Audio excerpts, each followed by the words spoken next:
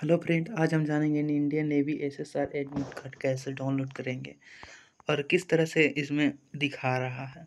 सभी बच्चों का एडमिट कार्ड लगभग आ चुका है। तो चलिए, आज मैं अपना भी देख लेता हूँ, मेरा एडमिट कार्ड आया है या नहीं। और देखेंगे कि क्या मेरा एडमिट कार्ड लगने से पहले आप स्टेट को सिलेक्ट करेंगे, फिर यहाँ पर कैप्चा को डालकर फिलअप करेंगे। कैप्चा सही सही डालना है, गलत डालने पर आपको बाहर कर दिया जाएगा।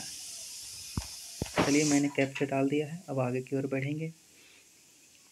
देखिए, अब यहाँ पर सीधा सीधी आपको अपना जीमेल जो आपने फॉर्म अप्लाई करते समय जो भी भरा था, आपको जीमेल को डालना होगा। तो चलिए मैं अपना जीमेल डाल देता हूँ। मैंने अपना जीमेल डाल दिया और पासवर्ड जो आपने फॉर्म भरते समय बनाया होगा, वो आपको डालना है। और यहाँ पर कैप्चा को सही सही फिलअप करना है। सही सही फिलअप करके आगे की ओर लॉगिन पे दबाना है।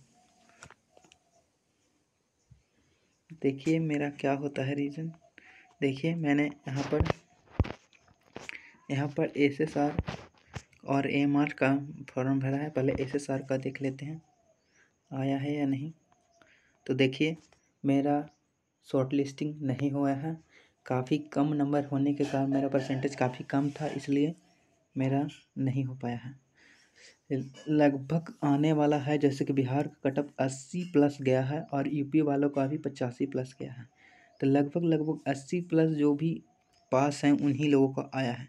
तो चलिए अब एमआर का कटअप देख लेते हैं। एम में भी मैंने अप्लाई किया था। देखिए एम में भी मेरा शॉर्ट लिस्टिंग नहीं हुआ है। तो अब आप समझ सकते हैं कि किस तरह से होगा। एम आर में भी मेरा शॉर्ट लिस्टिंग नहीं हुआ और ना ही तो एस एस आर में हुआ है।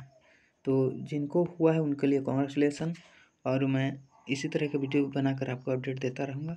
अगर वीडियो अच्छा लगा हो तो like share subscribe comment effort for knowledge को को सब्सक्राइब कर लें। जय हिंद